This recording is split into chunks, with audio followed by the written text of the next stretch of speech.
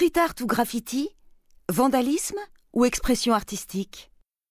Bonjour les voisins, les voisines, bienvenue, je suis ravie de vous retrouver aujourd'hui et pour commencer la semaine, on descend dans la rue avec le street art. Longtemps, les graffitis, les tags, les fresques ou encore les pochoirs euh, sur les murs hein, dans les villes ont été considérés comme du vandalisme, mais cette époque est bien révolue, c'est la consécration de l'art de la rue avec des festivals dans le monde entier, des galeries dédiées et des musées aussi qui s'ouvrent à Paris en octobre dernier. On a découvert le premier anti-musée d'art urbain AR42 et de pair, donc euh, ça va de pair avec cette reconnaissance du mouvement.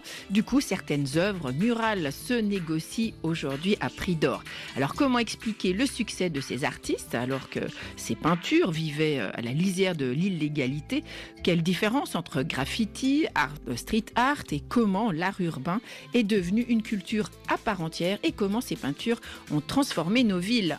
Alors beaucoup de messages arrivent sur Facebook. On a Tidiane de Thiès euh, au Sénégal qui nous dit eh ben, qu'il aime voir tous ces graffitis qui a, se déploient beaucoup d'imagination. C'est vraiment de l'art.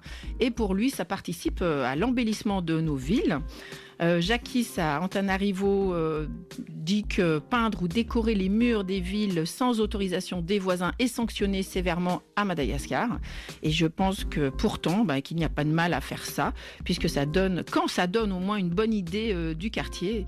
Euh, Stéphane, euh, il y a Joseph aussi de Kananga qui nous dit que le street art est vraiment un moyen d'expression, mais on peut déplorer euh, des fois la présence d'obscénité parmi ces graffitis.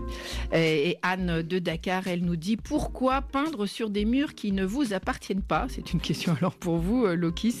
Et à mon avis, on se doit de. Elle pense qu'il faut passer par une exposition dans une galerie en bonne et due forme si on se prétend artiste. C'est un peu aussi tout le débat du jour. 33 1 84 22 71 71 et sur Facebook. RFI